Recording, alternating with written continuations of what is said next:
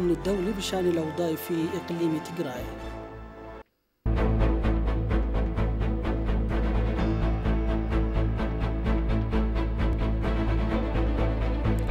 الدكتور وركان جابيو يجري محادثات مع مدير العام لقوات الاحتياط لشرق إفريقيا.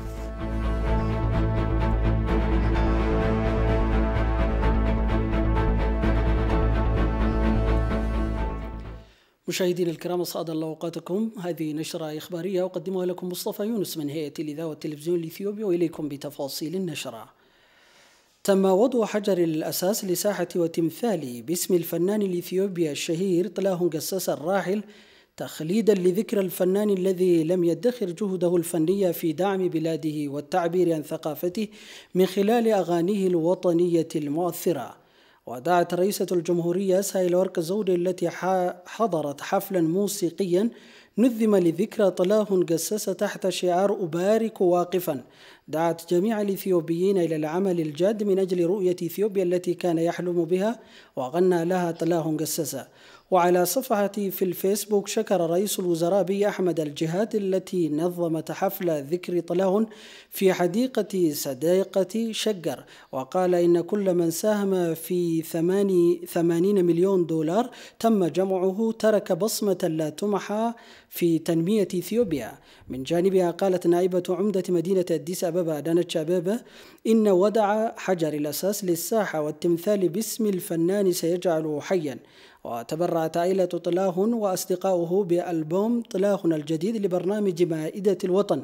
ويذكر أن 5% من أعداد الحفل سيتم تحويلها إلى دعم النازحين في مناطق مختلفة من البلاد.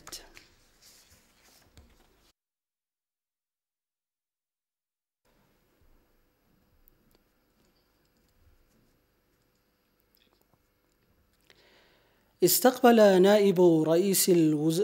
نائب رئيس الوزراء ووزير الخارجية الإثيوبية السيد مكا مكون في مكتبه في العاصمة وأجرى مناقشات مع نائب رئيس مفوضية الاتحاد الاتحاد الإفريقي كويسي المنتهية مدة عمله في إثيوبيا.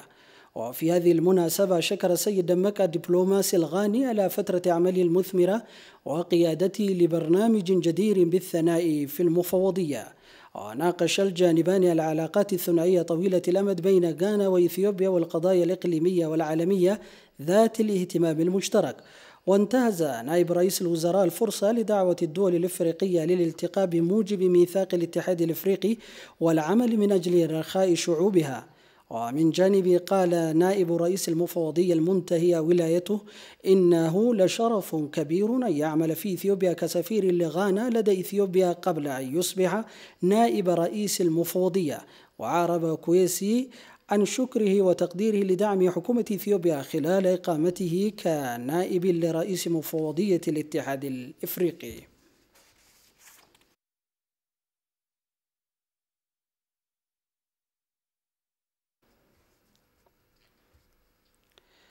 تم الاحتفال بيوم النصر الثالث والأربعين لانتصارات معركة كارمرا في حديقة الصداقة الإثيوبية الكوبية. وتجمع أفراد وتجمع أفراد القوات المسلحة والمحاربون القدامى وسفيرة جمهورية كوبا وسكان أديس أبابا لإحياء ذكرى الانتصار وقال المشاركون في الاحتفال أنه يجب أن يحظى انتصار كارمرا بالاحترام والتقدير الواجبين لأن الإثيوبيين وقفوا معا وأظهروا حبهم لوطنهم في هذا اليوم التاريخي.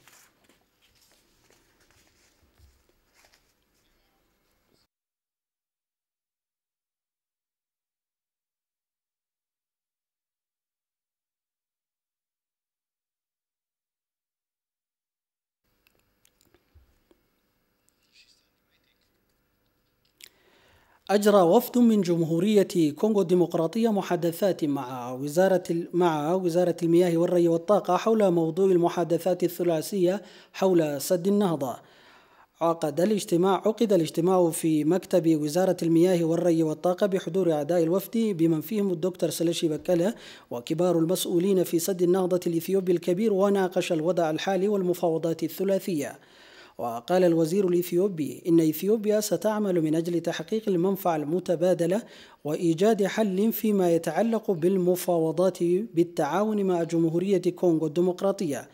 والجدير بالذكر فإن رئيس جمهورية كونغو الديمقراطية هو الرئيس الحالي للاتحاد الإفريقي.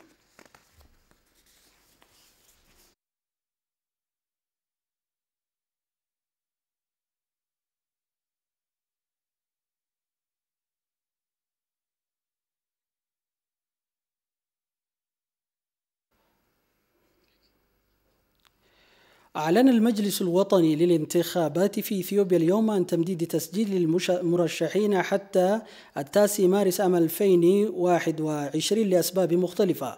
وصرح المجلس أن إدارة مدينة أديس أبابا ودريدوا وأقاليم أوروميا وهرر وغامبيلا وبين شانغول جموز أكملت تسجيل المرشحين أمس. وقد عقد مجلس الإدارة حتى الآن ثلاثة اجتماعات استشارية مع قادة وممثلي الأحزاب حول عملية التسجيل. وكان من المفترض أن تنتهي عملية التسجيل اليوم الخامس مارس عام 2021 وفقا للإطار الزمني الذي أعلنه المجلس. ولقد حث المجلس الأحزاب على الانتهاء من تسجيل مرشحيها في غضون الإطار الزمني المحدد.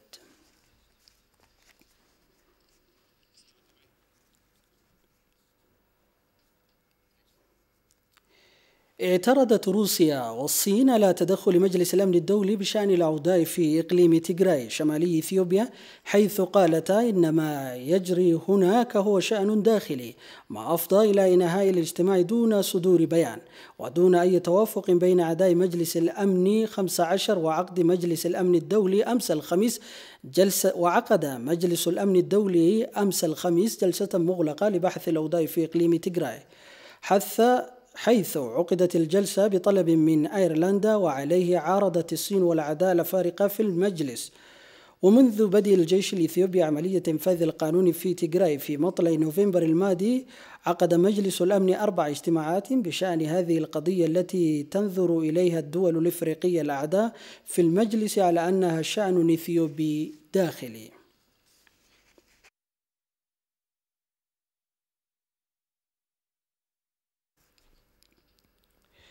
اشترى بنك نب انترناشونال سندات مالية بقيمة 15 مليون بر لدعم سد النهضة الإثيوبي الكبير. وقال رئيس البنك جننا روكا إن البنك يقوم بالكثير من العمل في الوفاء بمسؤوليته الاجتماعية. وقال إن شراء البنك الأخير لسندات بقيمة 15 مليون بر سيساعد في إكمال سد النهضة الإثيوبي الكبير. وقال إن بنك نيب سيواصل التركيز على مشاركته في دعم سد النهضة والمشاريع الوطنية الأخرى بالإضافة إلى إلى المسؤولية الاجتماعية.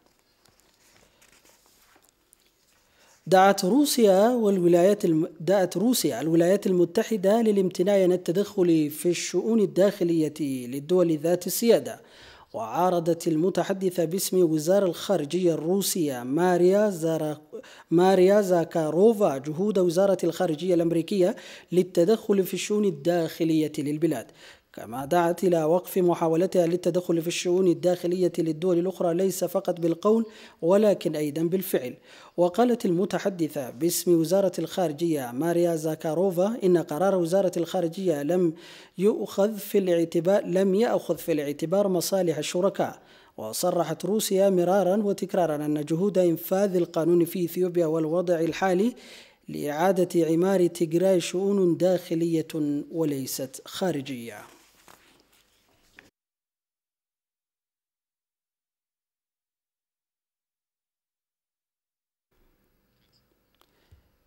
التقى السفير في الصمرقة سفير جمهورية إثيوبيا الفيدرالية الديمقراطية لدى الولايات المتحدة الأمريكية بسفراء الدول الأعداء في الهيئة الحكومية الدولية المعنية بالتنمية إيجاد في واشنطن العاصمة. وفقا للسفير ركزت المناقشة التي أجريت عبر الإنترنت على المصالح والفوائد المشتركة. وقال السفير في الصومال إنه سيتم التركيز على سبل حل المشاكل المشتركة وحماية المصالح المتبادلة في المنطقة. التقى رئيس الهيئة الحكومية الدولية المعنية بالتنمية إيجاد الدكتور وركنا جبيو مع العميد جيتاتشو شفرة المدير العام لقوات الاحتياط لشرق إفريقيا وخلال المناقشة ذكر الدكتور وركنا بأنه تم بحث سبل تعزيز السلام والأمن في المنطقة كما ناقش الجانبان حول بناء القدرات والتفاوض والوساطة بالإضافة إلى سبل العمل معا لمنع النزاعات. وقال إن الهيئة الحكومية الدولية المعنية بالتنمية وقوة الاحتياط لشرق إفريقيا ستوقعان مذكرة تفاهم قريبا. وإن قوات الاحتياط لشرق إفريقيا هي مؤسسة تعمل لإحلال السلام والأمن في المنطقة.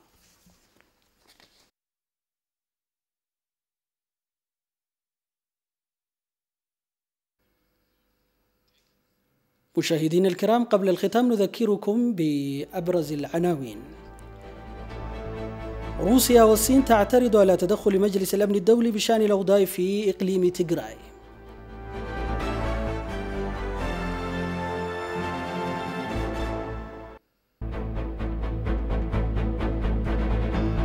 الدكتور وركنا جبيو يجري محادثات مع المدير العام لقوات الاحتياط لشرق إفريقيا. مشاهدينا الكرام بهذا نصل لختام هذه النشرة التي قدمناها لكم من هيئة الإذاعة والتلفزيون.